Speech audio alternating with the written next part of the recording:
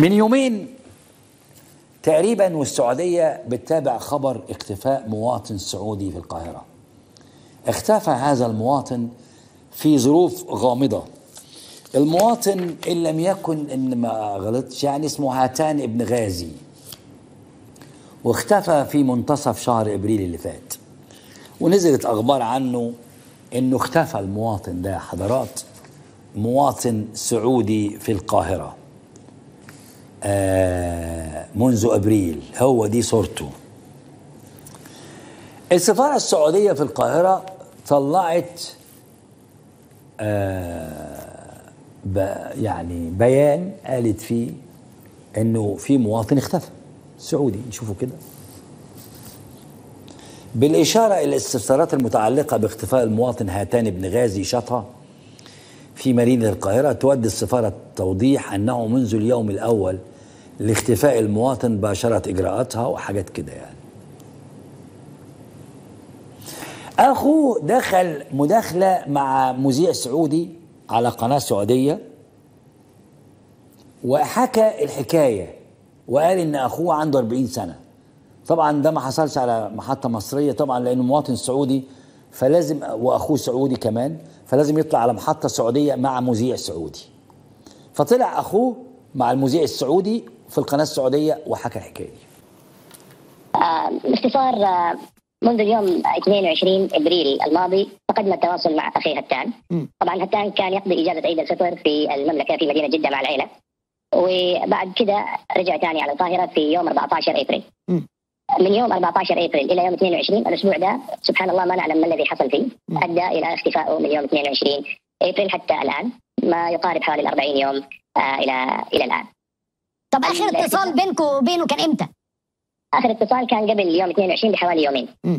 وكان اتصال طبيعي في سؤال عن الأهل وعن الوالدة وإيش الأخبار لأنه كان بينسق لعودته لحفل تخرج ابنته من الثانوية العامة خلال هذه الأسابيع.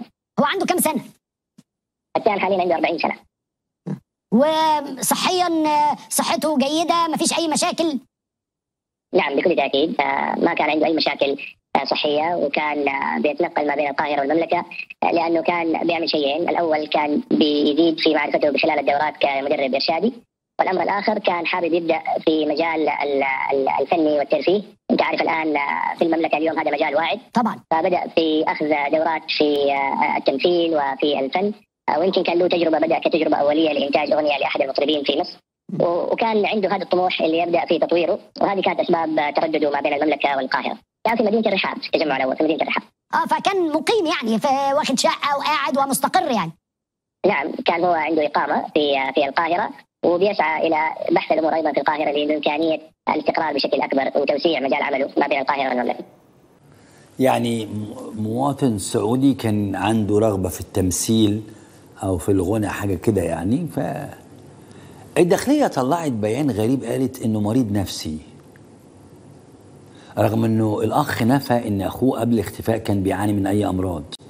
هنشوف الداخلية. بص في روسيا اليوم مصر تصدر بيانا بعد اختفاء مواطن سعودي وتكشف سرا. إيه سرا بقى؟ أصدرت وزارة الداخلية المصرية بيانا في إطار ما تم تداوله على مواقع التواصل الاجتماعي بشأن اختفاء مواطن سعودي في القاهرة. وقالت الداخلية في بيانها في إطار ما تم تداوله على مواقع التواصل الاجتماعي بشأن تغيب أحد الأشخاص يحمل جنسية إحدى الدول العربية فقد تبين ورود بلاغ لمديرية أمن القاهرة من محامي سفارة الدولة المشار إليها يفيد بمعاناة المذكور من مرض نفسي وقيامه بترك شقته المستأجرة بإحدى المجمعات السكنية بالقاهرة الجديدة في إطار مرضه. وبالفحص تبين وجود متع... جميع متعلقاته بالشقة محل سكنه ويتم. مريض نفسي؟ ده أخونا؟ فإنه عنده أي مشكلة. تعال نسمع كده أخوه قال إيه مع المذيع السعودي. يلا. مصدر أمني عامل تصريح. عايز اقراه لحضرتك وتقول لي مدى يعني التجاوب مع هذا الأمر في اطار ما تم تداوله على مواقع التواصل الاجتماعي بشأن تغيب أحد الأشخاص يحمل جنسية إحدى الدول العربية. فقد تبين ورود بلاغ لمديرية أمن القاهرة من محامي سفارة الدولة المشار إليها يفيد بمعاناة المذكور من مرض نفسي وقيامه بترك شقته المستأجرة بإحدى المجمعات السكنية بالقاهرة الجديدة في إطار مرضي. وبالفحص تبين وجود جميع متعلقاته الشخصية بالشقة محل سكنه ويتم تكثيف جهود البحث عنه. هل كان يعاني من أي حاجة نفسية يعني؟ إذا تسمح لي يعني أجيب على الموضوع ده من كذا جانب. آه. آه، بشكل مباشر مرة أخرى ماذا تم من يوم 14 إبريل إلى يوم 22 إبريل لا يوجد لدينا علم قد يكون مر بصدمه معينه أثرت عليه تعرض إلى حادث معين أثر عليه نفسيا أو آه، عقليا ولكن قبل هذا اليوم كان الأمور طبيعية جدا زي ما وصفت لحضرتك نشاطه العملي والتعليمي اللي هو اليوم كان يسلكه كان متواجد في المملكة لقضاء الإجازة ويعمل على العودة مرة أخرى زي ما قلت لك لحفل آه، تخرج ابنته والأمور كانت أكثر من طبيعية. يعني مش مريض نفسي. ده أخوه اللي بيقول لكن المعلومة الأهم اللي قالها عمرو أديب المذيع السعودي إن محامي السفارة السعودية هو اللي قال موضوع المرض النفسي والأخ قال إن ممكن وارد يكون في فترة أسبوع الاختفاء حصل حاجة لكن قبل كده كان طبيعي. نسمع المذيع السعودي قال إيه كده؟ موضوع المرض النفسي ده اللي بيقوله محامي السفارة. يعني ما أعرفش هو ممكن يكون جاب المعلومة منين ولكن أكيد السفارة طبعا السعودية في القاهرة يعني حاطه مجهود كبير في هذا الأمر. لا شك لا شك. وإن ورد من أي شيء يرد من السلطات الرسميه أو من السفارة السعودية نؤمن عليه سمعا وطاعة. آه وأنا أؤكد اننا الهدف الرئيسي الآن هو أن نعثر عليه أو أن نجده آه سواء كان بكامل آه صحته وعافيته ورجاحته العقلية أو يكون تعرض إلى أمر يمكن اثر في ذلك يكون الحاجة إلى العثور عليه أوقع وفي حراجه أعلى في أننا نجده. بس البيان بتاع السفارة السعودية ما في حاجة عنه مريض نفسي؟ ما أنا مش شايف أي حاجة فيه. بالإشارة والظروف الأمنية اختفائه مستعينا بذلك بالكاميرات حيث تمكنت الكاميرات من تسجيل خروجه من المنطقة التي يسكن فيها بالحي تجمع الخامس. من تسجيل اطلع كده.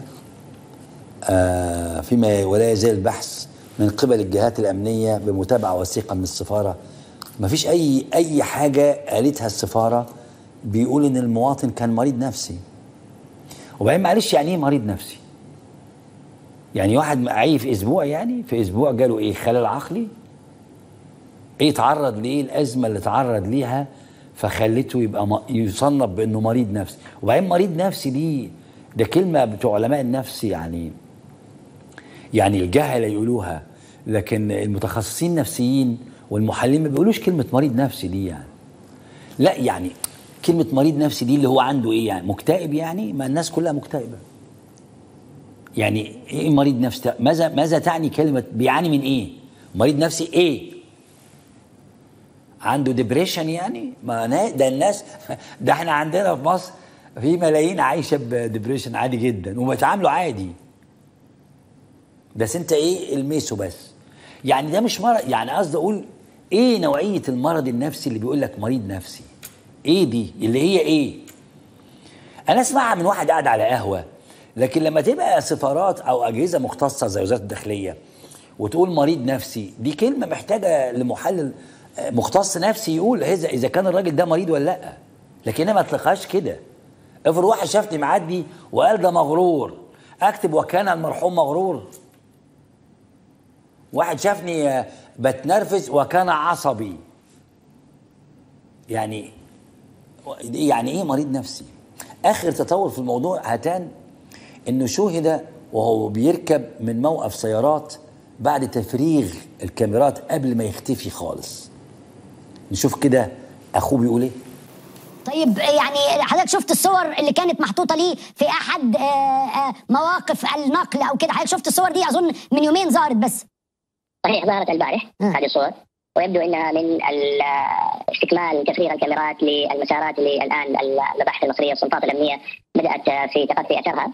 آه، كان عندنا شك هل هو أو لا ولكن في حقيقة نسبه شبه كبير. آه، ويمكن الكلام اللي صاحب الصور بأنه قد يكون استقل أحد السيارات من الموقف وهذا اللي كان يبشر بخير لأنه في حال آه، قدرة التتبع السيارة ممكن نعرف مسار اللي وصل له فبحول الله هذا يسهم بجهود السلطات المصرية للوصول إلى نتيجة.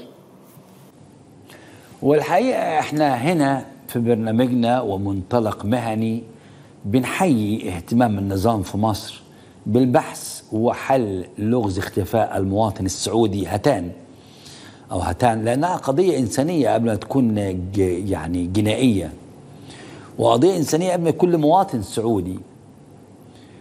مواطن إنسان كان عايش في مصر بلد الأمن والأمان. لكن السؤال الأهم هل موضوع المرض النفسي ده يعني مش هيدخلنا أو مش هيخلينا نقلق شوية من الرواية يعني رواية مصرية قوي أو رواية أمنية مصرية؟